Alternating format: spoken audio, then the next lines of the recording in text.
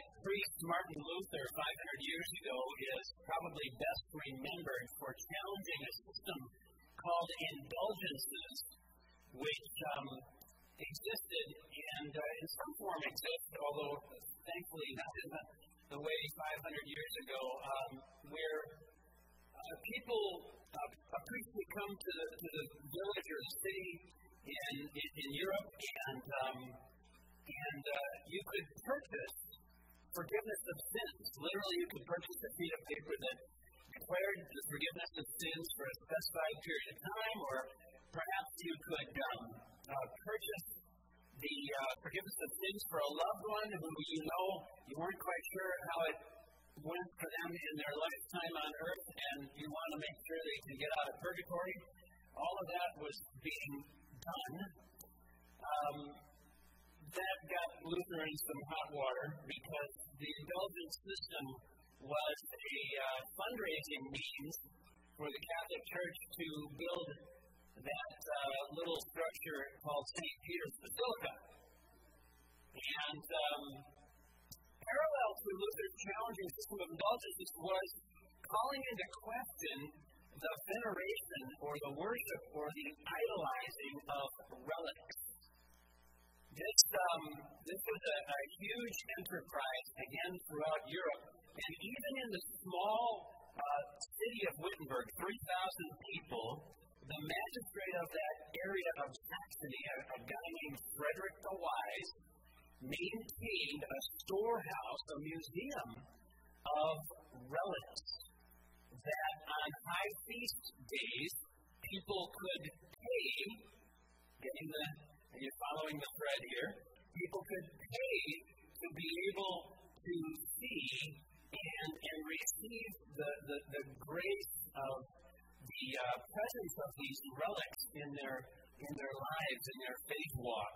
For example, there uh, were purported in Wittenberg to be one of the nails from the cross of Christ. I don't know how many nails they had around Europe, but they, they had one in Wittenberg, they said. Uh, splinters from the cross of Christ were relics. Uh, a thorn from the crown of thorns was thought to be on display. Bones of saints, uh, the hair of John the Baptist who had been beheaded, uh, even milk from the breast of Mother Mary. Can you imagine? All of this was purported to be available for people to venerate, to idolize, to come near. And, and, and Luther called all of that into question, which, of course, put strain on his relationship with his Frederick the Wise, who, by the way, was his protector against the Holy Roman Empire that had excommunicated and had pronounced his death sentence. And um, I guess you could say Luther was an equal opportunity irritant to both Pope and Prince.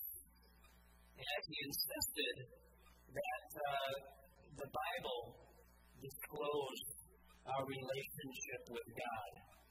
Well, uh, since I've kind of gone down this rabbit hole, did you incidentally know that this past Tuesday was the anniversary of the death of Johann Tetzel? Now, I'm sure you know who Johann Tetzel was. He was the Dominican, the Dominican Catholic priest who traveled throughout Germany, a German priest, peddling indulgences.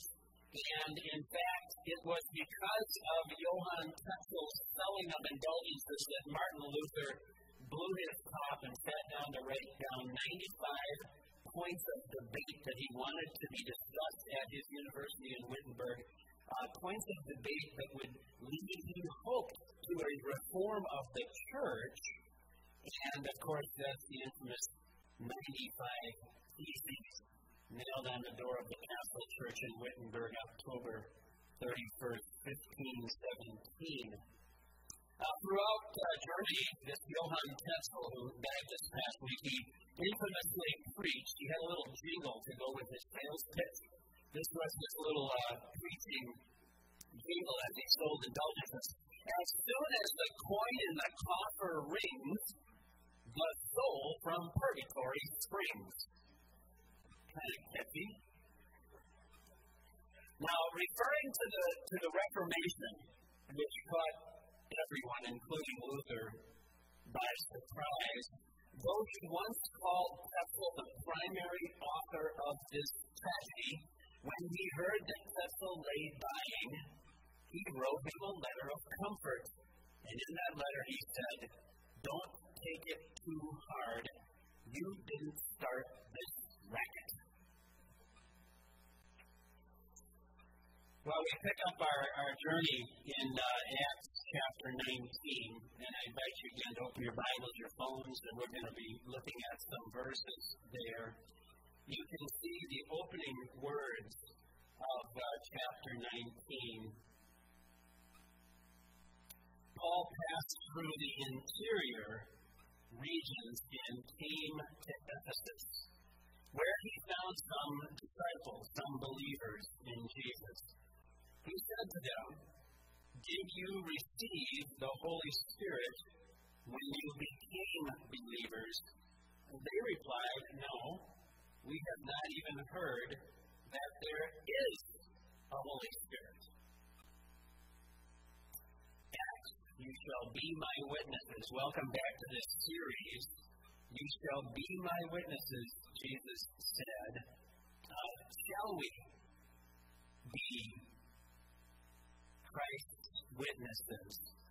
Um, this encounter in Ephesus, and those who confessed we didn't even know there was a Holy Spirit might have something to do with how we answer the question of whether we shall be Christ's witnesses.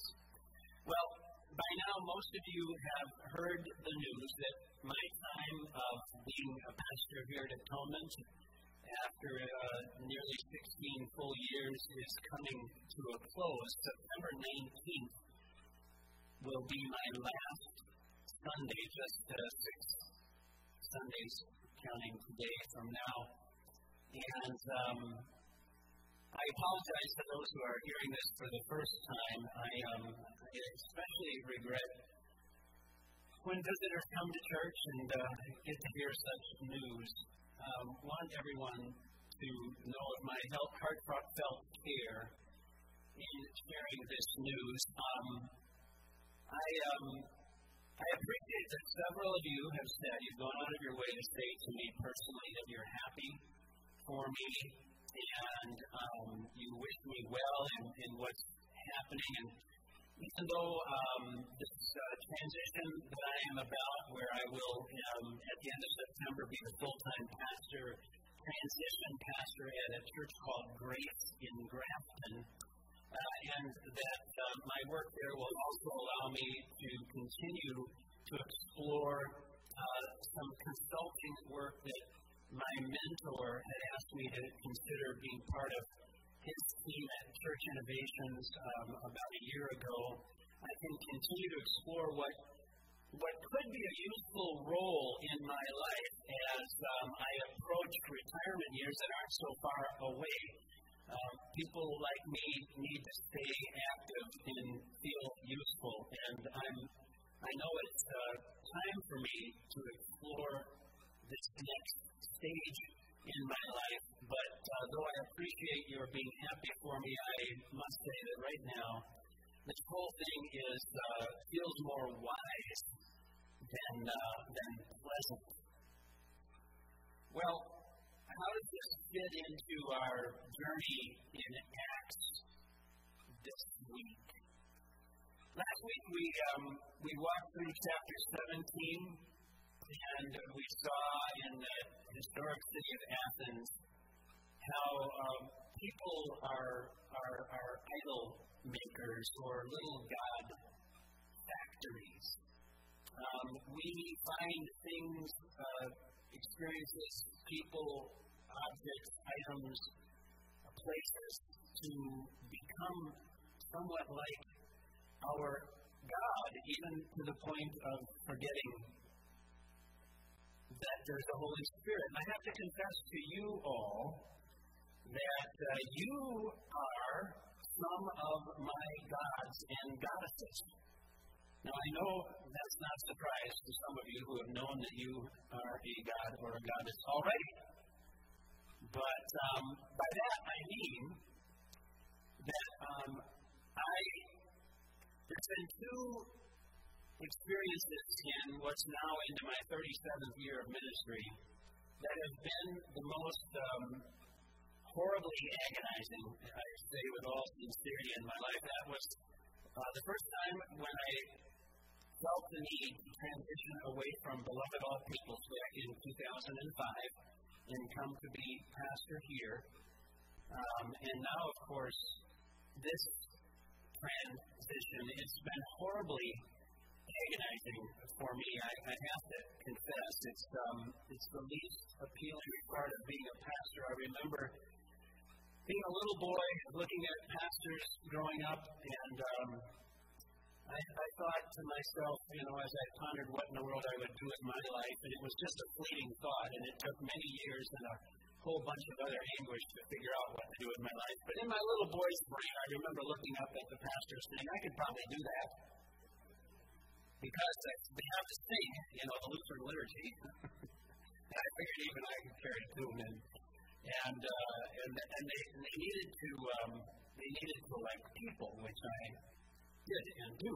And, um, and yet I remember as a little boy watching pastors that would transition from our little town and and I thought, how awful that is, because, you know, well, my mother lived for 85 years in the same house, and her church was for 85 years Holman Lutheran, and why would people not be able to always, always be together? Even as a child, I thought that was a strange, strange part of becoming a pastor. I'll, I won't forget when I left all peoples. I'll never forget. I I felt such shame And if you're an Enneagram 3, remember, I know a lot of you went down this Enneagram route for us last Lent, and some of you are like, oh, don't remind me.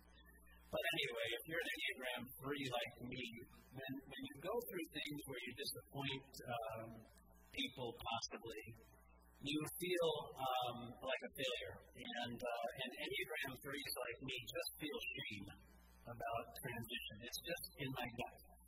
And I remember at all people's back in 2005, I felt such shame abandoning all those children that I just felt God had allowed me to be there for for so many years. And uh, I felt that shame. And, and, and uh, one of the moms of some of those kids, a woman named Marie, came up to me and she said, um, she looked at me and she said, I just wish you would have told us that this could happen. Meaning that I would possibly leave someday. I just wish you had told us this could happen. And then she went on to explain where we come from. The pastor is there and, and grows old and, and dies, and then their sons take over. and I kind of chuckled and I said, I don't know which one of my sons you want. I, I could make a recommendation, and it probably would be my daughter, but anyway.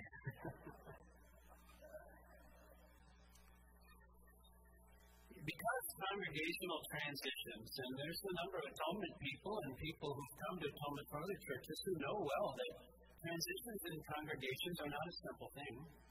Um, it's a season of great stewardship, and we know what stewardship means. It's how do we manage what God has given us. And, and so part of my agonizing over transition has been how do we steward, how do we manage this season of transition in a healthy way? Uh, five years ago, uh, believe it or not, Ron Peterson and I and Greg Youngs and Cindy Gospel, we read a book called The Elephant in the Boardroom, which was a book that, uh, if you can imagine that metaphor, the elephant in the boardroom is something nobody, nobody in the board wants to talk about. And it's true, church councils and church leaders would rather not talk about a pastor leaving if things are going relatively well. But we began to read that years ago, and, and thankfully we've done some things in these last number of years to build some stability into this congregation, not the least of which is the presence of beloved Pastor Kevin and a whole bunch of staff that I just ask you to pray for and appreciate and support and um, and just ask them how you can help. You know, Jeannie Coughlin's going to need people to step up in September. If you can possibly serve on Sunday, just say, Jeannie, put me in. Uh, we need people to do that. But this um, this transition is um, it, it is challenging in, in church life, can be. And so we began over the last couple years to talk about a time when we would roll up our sleeves and study this carefully. And, and that time became last spring. And so we, um, we began to appoint a guiding leadership team, an excellent a bunch of leaders in this church. I'm going to go out on a limb here. I don't have their names in front of me, but I see Lori and Mark are here, and Ron Peterson, and, and Wendy and JD, and uh, Cindy Gospel, and Matt Luckman, and Chris Retzloff, and Rachel Zabkowitz, and Tim Fairbrother, and there's one more.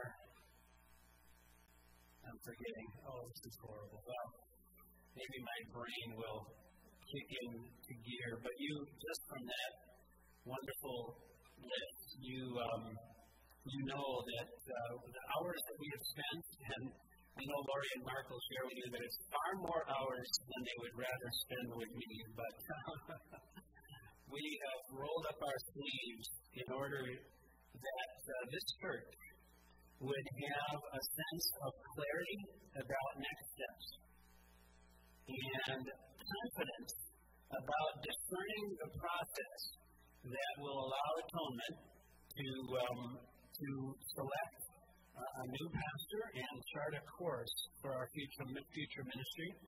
And I really want you to be very hopeful because, uh, to be honest, this work that we have done, I honestly do not know of another congregation. I'm told there are some, I'm sure there are some, but there's some 8,500 ELCA churches in the United States, and it's just not our norm to do this kind of careful work. We've had the blessing of our bishop and uh, specifically, uh, Pastor Jennifer Arnold, the bishop's assistant, has participated personally in this process. You'll get to know her better in the few months ahead.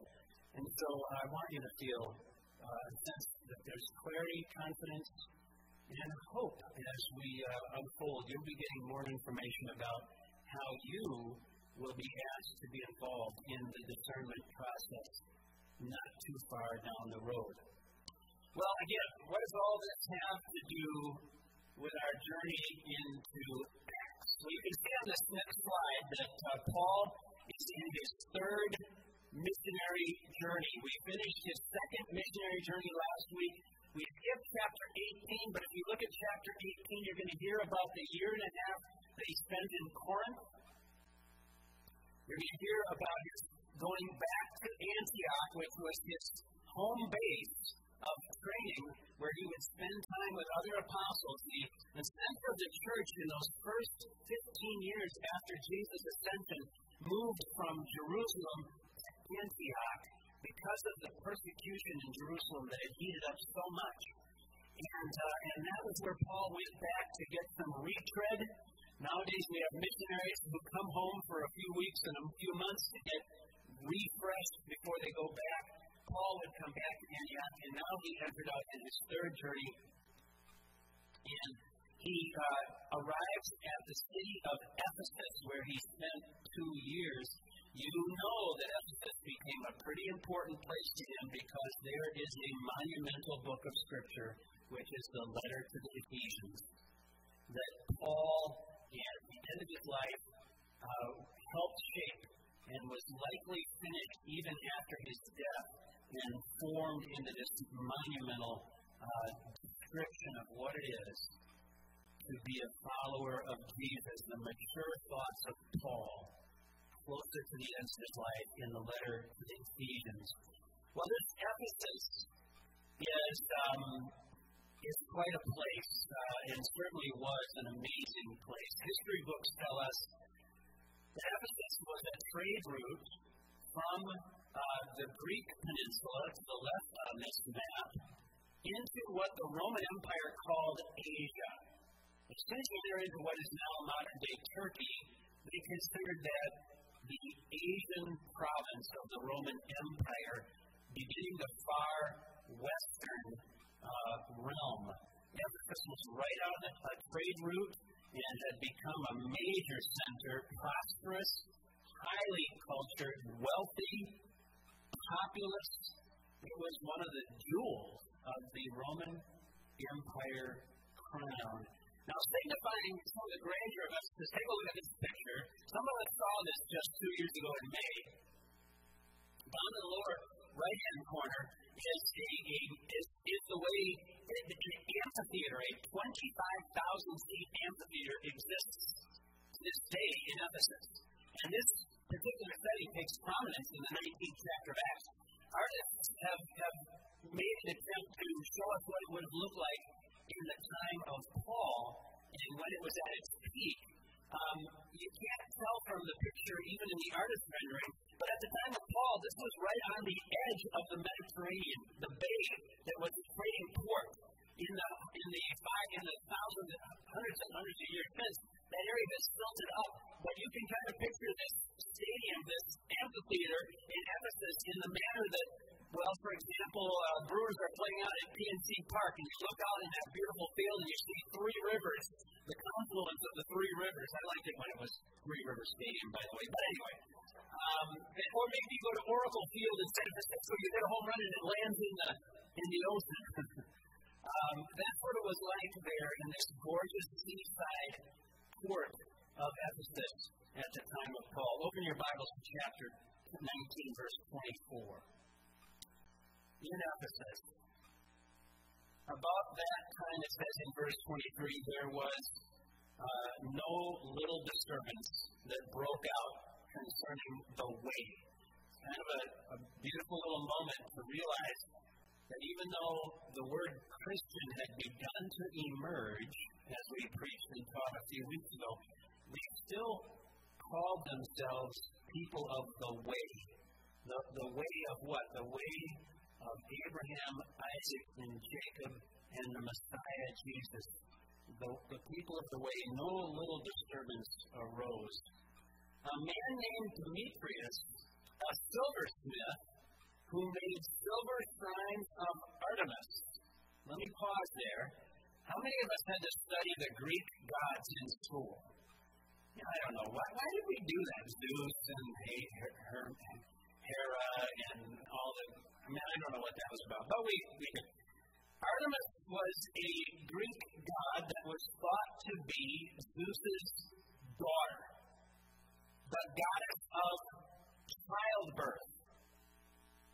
They had a god and a goddess for everything in Greek mythology. And, um, and this Artemis had been made into a little statue that if you read the scripture carefully in 19, you'll find that they, they believed it dropped out of heaven. We've heard religions say that. There's various religions say that, you know, their holy book dropped out of heaven or whatever. Um, it's not unusual. But um, in this case, they made, uh, well, you can read for yourself, a man named Demetrius Silversmith made silver shrines uh, uh, to Artemis that brought no little business to the artisans there he, he gathered the workers of the same trade, those that worked on these uh, little artifacts of Artemis, and said, Men, you know that we get our wealth from this business.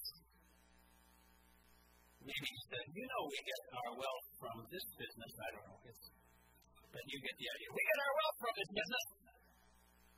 You can also see and hear that not only in Ephesus, but in almost the whole of Asia, remember they called that region, region Asia, in the whole of Asia, this Paul, this Paul, has persuaded and drawn away a considerable number of people by saying that gods made with hands are not gods.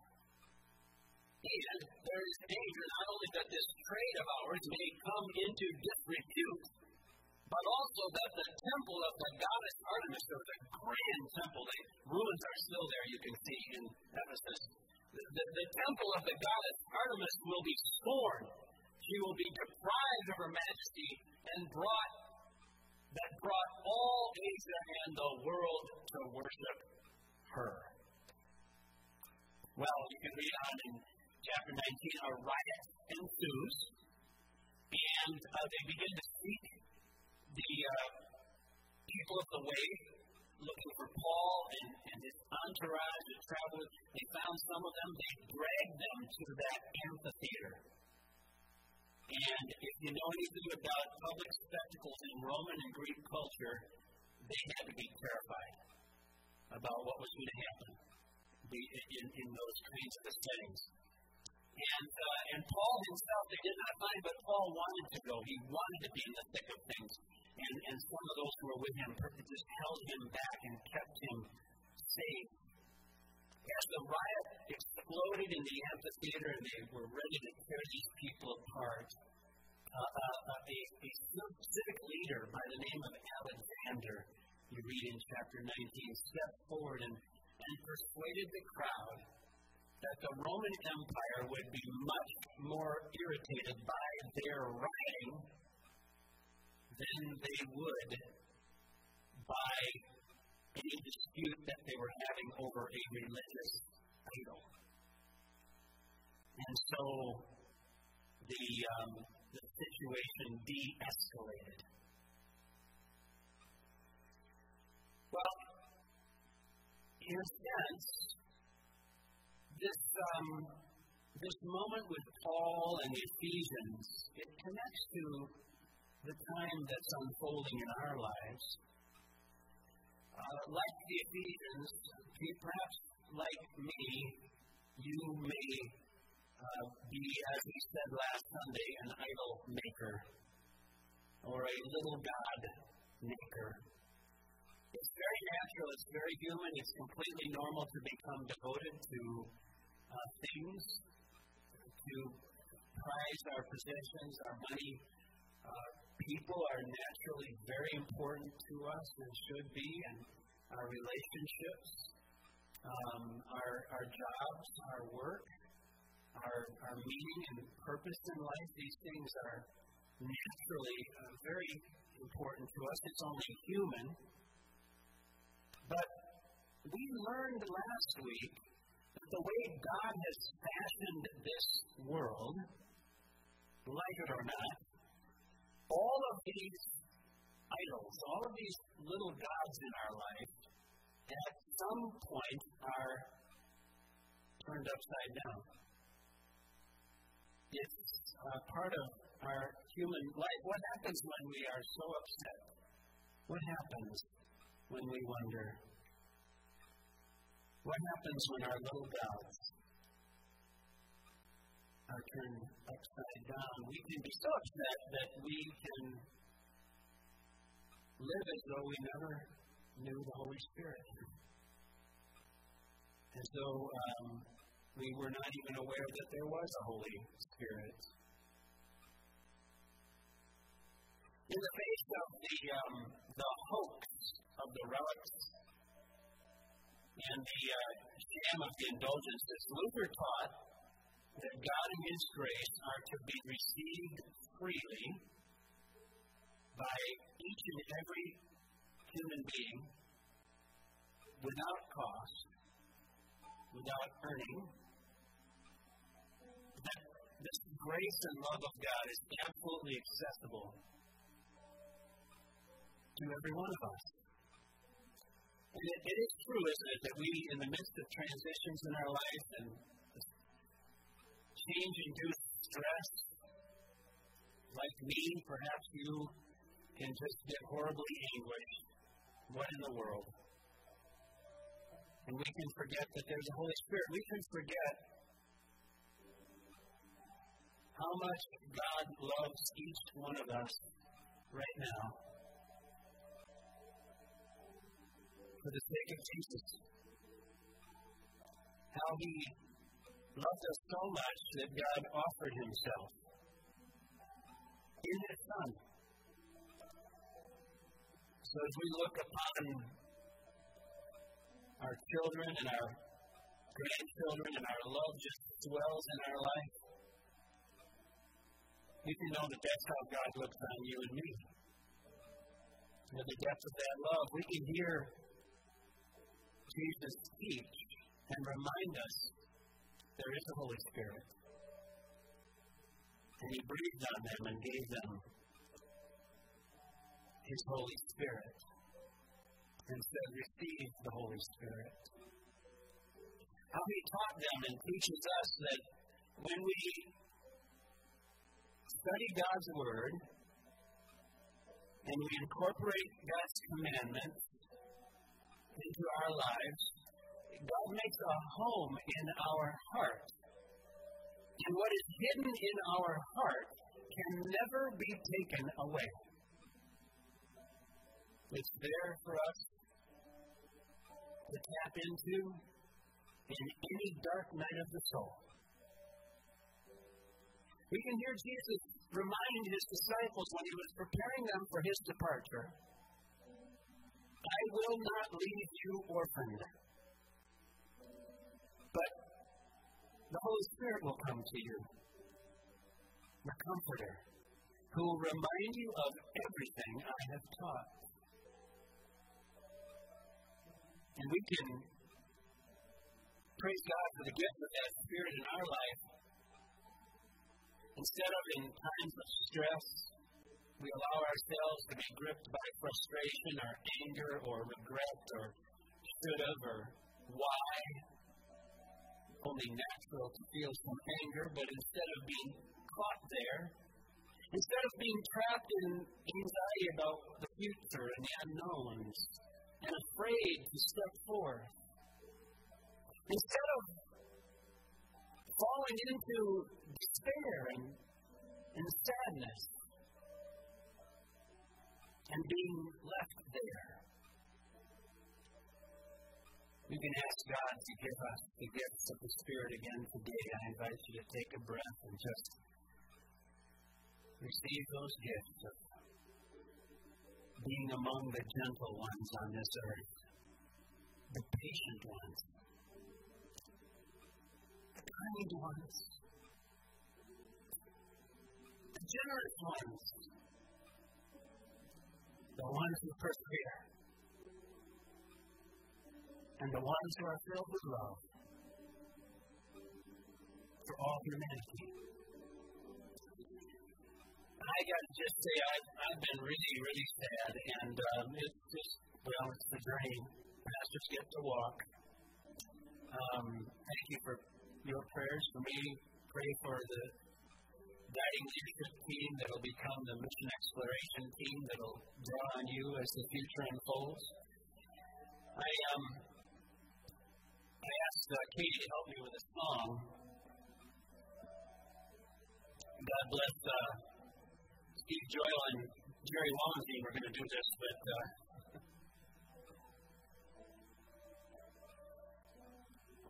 if they're going to have to put up with us. And church, I'll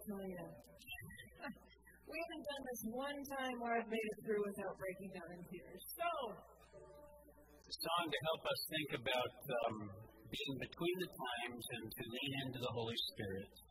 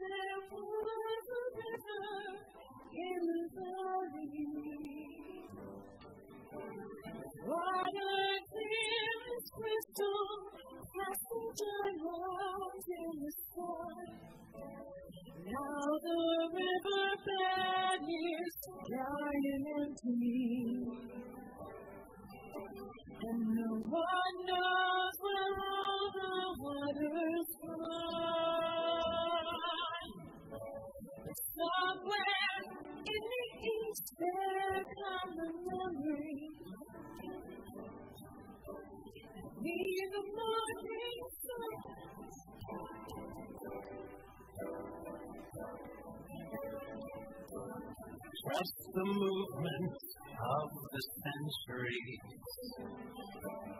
and still see the river flow between the tides.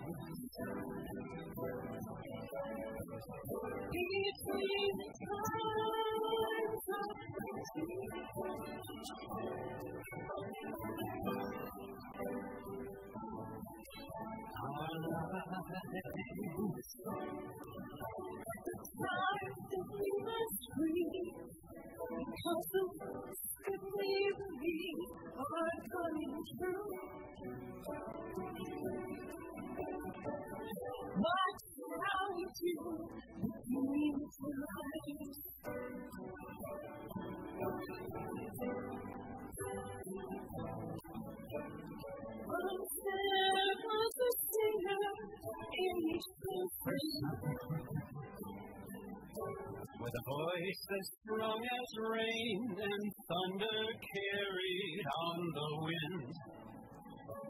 And now the we make seem so uncertain that we wonder if we'll ever sing again. But somewhere from the north there come the memories that whisper on the breeze across the lakes and through the pines. And those who trust the movement of the centuries can still hear a song to sing between the times. Between the times of plenty, when the song is just a whisper in our lives.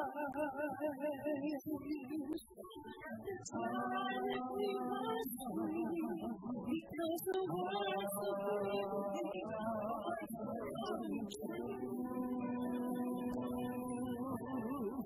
What shall we do between the we will do. What shall we do And behold the holy mountain.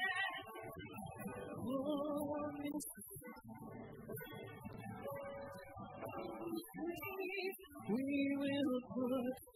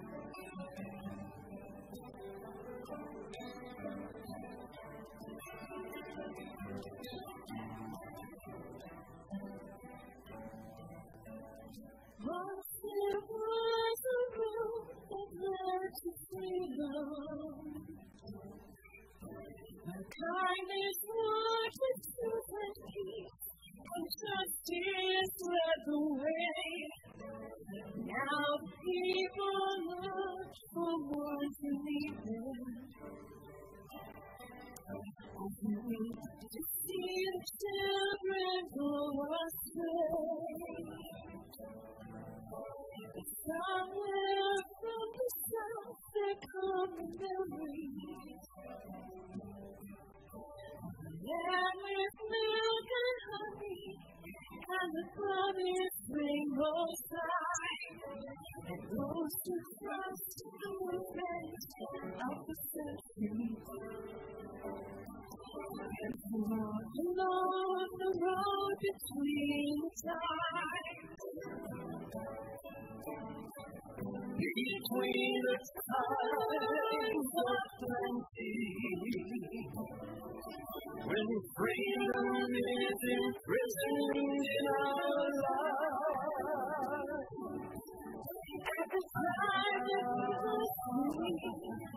I'm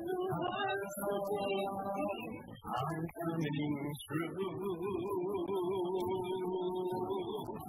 What shall we do between the times? What shall we do between the times? What shall we do between the times?